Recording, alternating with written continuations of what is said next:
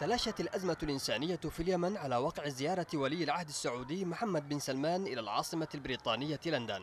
اكتفى المسؤولون البريطانيون بالتعبير عن قلقهم حيال الوضع الإنساني في اليمن في وقت يستمر فيه سقوط الضحايا المدنيين جراء الحرب الدائرة منذ أكثر من ثلاث سنوات بعد الانقلاب الذي قامت به ميليشيا الحوثي. التركيز على استمرار فتح ميناء الحديدة الواقع تحت سيطرة الميليشيا غرب اليمن والعودة للمسار السياسي على الرغم من عدم وجود رؤية واضحة كانتا محور لقاءات بن سلمان بالمسؤولين البريطانيين. القلق الذي أبدته رئيسة الوزراء أسفر عن صفقة تجاوزت الستين مليار دولار بين حكومتها والحكومة السعودية بالإضافة لتوقيع عشرات الاتفاقيات في مختلف المجالات.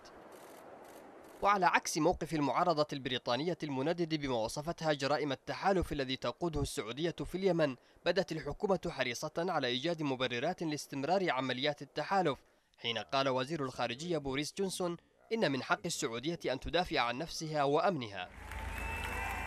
المعارضة البريطانية التي يقودها حزب العمال وصفت على لسان رئيس الحزب جيرمي كوربن بريطانيا بأنها شريكة في جرائم حرب تقع في اليمن حسب الأمم المتحدة. وأضاف أن ألمانيا أوقفت صادرات الأسلحة للسعودية بسبب ما يجري في اليمن بينما بريطانيا زادتها والمستشارون العسكريون البريطانيون يوجهون المعارك. الجدل انتقل إلى مجلس العموم حيث وجه كوربن سؤالين لرئيسة الوزراء بشأن مبيعات الأسلحة البريطانية إلى الرياض وانتهاكات حقوق الإنسان في السعودية وذلك قبل دقائق من لقائها ابن سلمان. وأضاف ليس من الصواب أن تتواطأ الحكومة بشأن ما تقول الأمم المتحدة إنها أدلة على جرائم حرب فهل ستستغل رئيسة الوزراء اجتماعها اليوم مع ولي العهد السعودي لإيقاف إمدادات الأسلحة ومطالبته بوقف إطلاق النار في اليمن فورا؟